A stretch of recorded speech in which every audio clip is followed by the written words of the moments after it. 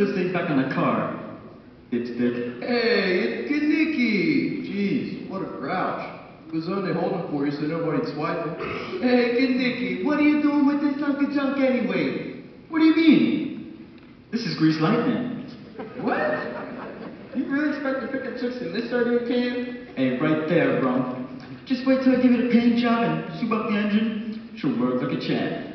Ladies and gentlemen, the one and only Greased Lightning!